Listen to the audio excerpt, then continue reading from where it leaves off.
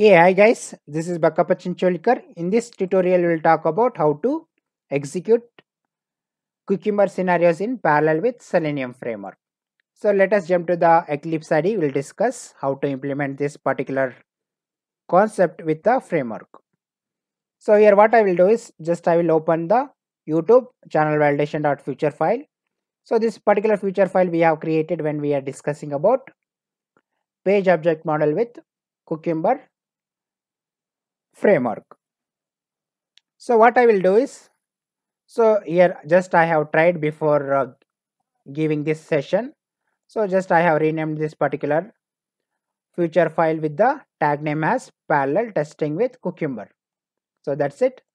So just let me explain you what exactly this particular scenario is doing here. In the first step, we are just opening the browser and we are entering the youtube.com then in the second step, we are searching for the Selenium tutorial that is Selenium by Bakapayan. In the third step, we are clicking on the channel name. In the fourth step, we are validating the title of that particular tab. So that's the validation we have done by using the assertions. If you have not visited in the previous tutorials, please go and visit those tutorials to get more insight of this tutorial. So let us discuss how to implement parallel execution in Cucumber Selenium framework. So what I will do is simply I will go to the test runner file here. Just maximize this. I'll go to the test date annotation data provider. So here, here I will pass the single parameter called parallel is equal to true. Sorry guys. So here I am passing parallel is equal to true. So that's it. So this is a small change you need to do in the test runner class. So that's it. So when you come down here, we have a testng.xml file. In this file, what you need to do is for this particular suit you need to pass the another parameter here. So what is that property is? Data provider thread count. Sorry thread count. So if you look at here so this is a property you need to pass the value like how many scenarios you wanted to execute at a time. So if i select this particular property so by default it will execute the 10 scenarios at a time so you can specify it you can customize it. So in my case i wanted to execute two scenarios at a time. So let us go to the our feature file. So as we have only two total two scenarios in this particular feature file what i will do do in this particular feature file is just i will copy the same scenarios. I will paste it one more time. So now we have total four scenarios. So at a time, first in the first execution, it will launch the browser, two browsers, and it will execute this but first two scenarios. In the next time, in the next iteration, it will execute the next two scenarios. So let us take this particular tag name and go to the test runner file here. So I'll specify this particular tag name here. So that's it.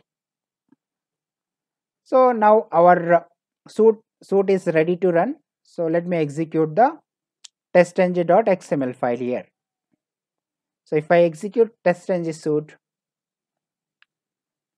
so if you observe here it is launching the two browsers at a time. So we have passed in the testng.xml file as the 2 as a count for the data provided thread count.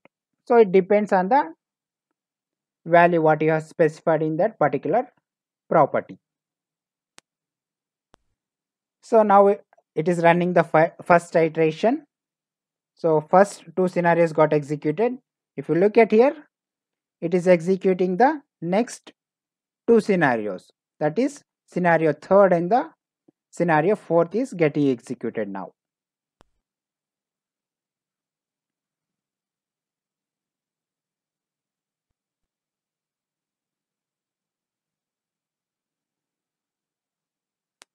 So that's it. So we will add another set of scenarios and we will try to execute it one more time. So if i maximize this particular console if you look at here total test run is 4 and there are 0 failures and the 0 skips. So let us add a few more scenarios in this particular feature file. So now we have four scenarios. Let me copy all the four scenarios and it will become now 8 scenarios. So that's it. Let me copy another two scenarios. So total it will become 10 scenarios.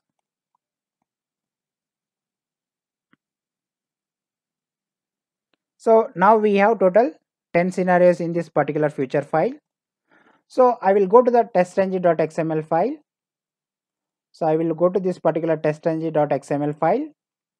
So here i will maximize this here i will mention this data provider sorry data provider thread count as a 5 so that it can run at a time 5 scenarios or 5 test cases so that it will complete in a 2 iteration. So if you are executing one by one scenarios by scenarios it will take a lot of time. So you can reduce that time so if i execute this particular testng.xml file so it should be able to launch five browsers at a time. So here i'm executing testng.xml file as a testng suite so if you observe here so we have launched five browsers at a time. First one second one third one fourth one and fifth one. So five scenarios are getting executed at a time. So you can try at your end. You can you can write multiple scenarios in the same file and you can try to execute. In my case just i have copied already existing scenario only multiple times.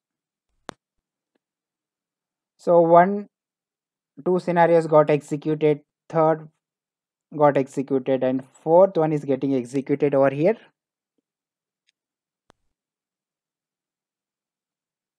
So now if you look at here now, total browsers visible is total 5. So first iteration is completed. The second iteration is in execution is in progress. Now if you look at here, another 5 browsers got opened. So let's wait for the execution to be completed. Then we will see the result.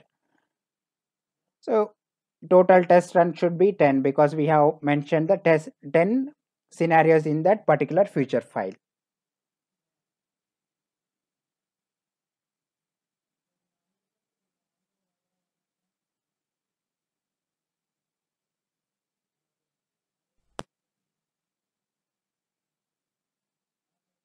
Hi everyone. This is Bak. So last scenario is getting executed now so that's it so if I maximize this so we got some error session id is null or something after calling calling to the quit method maybe some delay is required in that case so if you look at this particular statement here total test run is 10 but there are only one failure and there are zero skips. Maybe that looks some driver is driver session is null or something. So that's all i have in this session. If you have any questions please comment in the comment section. So we have got this particular error because we are directly we are quitting the browser. So instead of quitting the browser you need to close the browser so once execution is completed if you are using some TestNG listener and all after finishing the execution you can uh, call to the driver.quit method in the listeners. So this is a very simple issue you can resolve at your end. And let me know if you are facing the same issue i will help you in resolving that issue. So that's all i have in this session. How to execute cucumber scenarios in parallel with selenium framework if you like this particular video please click on like and share button. If you want to get more updates from this particular channel, click on subscribe button. Thank you very much for watching this tutorial on how to execute Cucumber scenarios in parallel with Selenium framework.